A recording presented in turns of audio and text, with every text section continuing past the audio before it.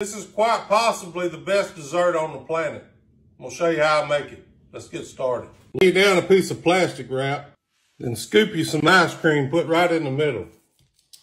And take and fold your plastic wrap up around it and form it into a ball. And then you gotta set it back in the freezer. This is three egg whites. You wanna whisk them good. You wanna whisk them till they get frothy like that. Take whatever potato chips that you like, put some in a Ziploc bag and I'm gonna crush them. Take your ice cream back out of the freezer and drop it down into the egg whites. And get it coated all over. And now down into the crushed potato chips. Coated all over really good. Got my airless fryer preheated to 375. We're just gonna set it down in there about 20 seconds. And here it is, what it look like. Hit it with a little powdered sugar, then with the Hershey's Sundae Dream. Y'all see here? Airless fried ice cream. Uh-uh.